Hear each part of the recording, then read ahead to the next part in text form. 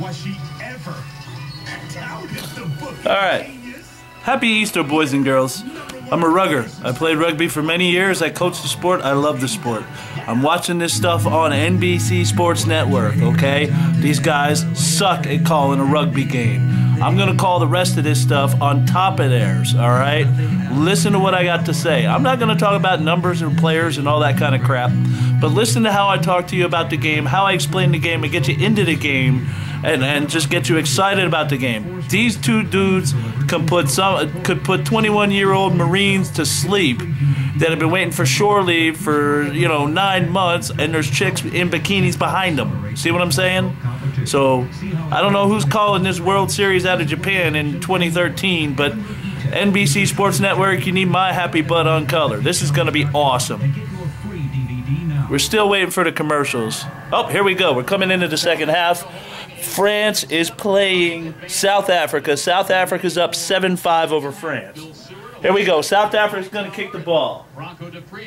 Rocco's going to have to take this kick, and he's looking to put it somewhere that's going to be playable that these guys can get right on top of it. France is too dominant with their forwards right now. Right in the center of the France's forwards, they take it. Pretty clean transition right there into the back line. We're going to run right into those forwards there. We're keeping it in tight. What France is trying to do is make some space on the outside. Get some one-on-ones get some numbers somewhere, some overloads. That's what we call when we have four on three or, or, three on two. These big French guys, here we go, we're looking for space. Now look, he's starting to slow down a little bit. He's looking for his help. He's looking for where his next guy is. Where is he? Doesn't have any help. He takes it down to what's called a ruck. A great time for a break right now. Oh, penalty there. Looks like South Africa gets a little break. And he's gone. Pretty much history. That's how fast this game of sevens is, folks. But what I was getting at with the ruck, then when the ball is on the deck, as we call it, on the floor, that's when you, you have a ruck, and there's certain rules that apply. What you really want to do if you have a strong set of forwards is keep that ball up in the air in what we call a maul. Okay, you keep that ball in the maul, and you can move down the pitch at a, at a great at a great speed using your big guys letting the backs get out there, letting the backs real uh, figure out where they're going to try to make their overloads and make their runs. And now we're seeing the glorified replay of just a quick break. I mean, the ball bounces. It's a quick break. It can happen to anybody. It's South Africa just came up on a good one. Heads up play, bottom line. Heads up play by South Africa. They score. And the conversion's good. South Africa's up now, 14-5. What a game. It, the, the score does not indicate what's going on on the pitch right now. These French guys are putting up a fight. And this is the semifinal of the Cup. There's one more game. The winner this is going on to play New Zealand, who just crushed Australia. That was a, a game of men among boys there. The All Blacks just firing on all cylinders today. There we go, another kick by South Africa, taken looks like by the forwards again. Up in the pack. We're going to set it into a ruck. Ball comes up out of the ruck, and France is still controlling, but we got a penalty here to France. Looks like hands in by the by the South Africans. Another little heads-up play. We're going to okey dokie. And it goes into nothing there, a little ruck. We're looking to set. Just another set piece, just another play on the game. Nice bit of flair. The French have the most flair I have seen in this whole tournament there. A little bit of hands in right there. Ref's out of position. All right, he gets it. He's going to call a knock forward. So we're going to have a scrum down here. And that's pretty cool. I mean, the, the, the whole thing with the scrum down. I'm a like I'm a I'm a purist. I played in the days when the when the tight head, which is what I played, ran the pack. I'm going to tell you when we're touching. I'm going to tell you when we're pausing. I'm going to tell you when we're engaging. Now we re rely on the ref for safety measures and everything, and that's great. I mean, there's a lot of guys that got hurt back in the day that I played. I don't really think the ref taking control of it makes it any easier or safer. I really think it, it takes a lot away from the strategy of the game. And look, look how low those guys are getting. It, it's just incredible. France, he's looking for some help. He doesn't have anybody back there, and, and, and with sevens play, they do try to do retreat some to get some help, but that was just incredible. That was too far back. Perez trying to do some, some magic there, but he's only got so much in those boots. Two guys just came in for France. France is running out of time. They do have some fresh legs in there, but I really don't see him making it up. He's got a break here. No help, no help, and taken down in the field by himself. No help. Look at that. France was trying to ruck over.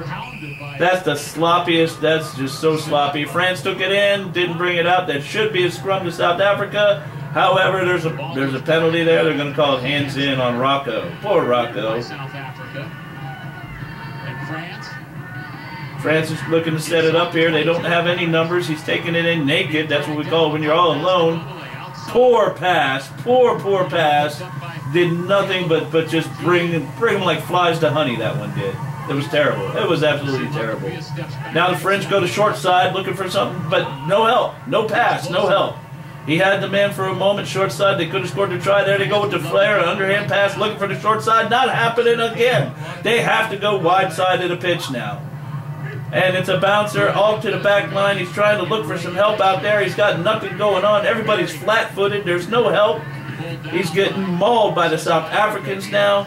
Just tore apart. Ball South Africa's side. Oh, sloppy, sloppy, sloppy. Rest calling over the ball again. South Africa just too aggressive at the ball right now. Oh, and France gets slipping through for a little bit of a try with a little flair there. He's looking for the immediate kick to save time because France is behind now 14 12. They're just one penalty kick away from winning this match and going on into the finals for 2013 in Japan. This is incredible bringing it back this close, this late in the game. Now, France has that. Now, uh, you win it, you kick it. So France has that kick right now, and it's all depending on what South Africa does. If South Africa plays a ball control game right now, they've won it. They're done.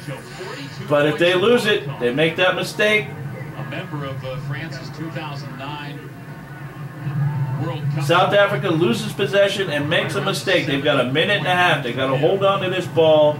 They cannot let France have it. They've got to control it now for the rest of the game or try to put a go ahead and we're done score up on the board right now. They take it into the forwards and they're not looking too conservative. Running too far back, that's their own 22 meter line. It's just he's, he runs into nothing. He's looking for some help now.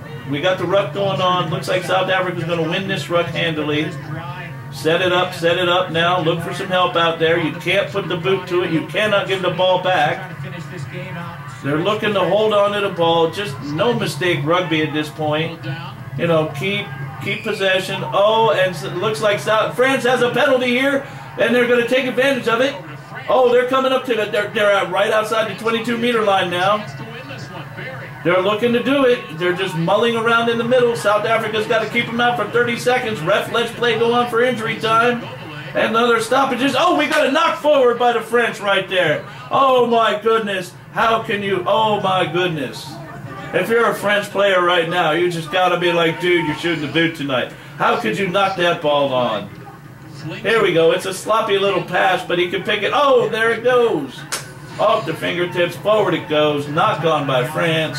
That's a South African put in at the scrum. One, we're out of regulation time. This is going to be the last set piece of the play of the game. All South Africa has to do is boot it out of bounds. They win 14-12. My goodness, I've got a heart condition. I can't call these kind of games. South Africa wins it. 14-12. South Africa advances to the finals against New Zealand All Blacks in 2013 Japan World Series. NBC, hire my ass.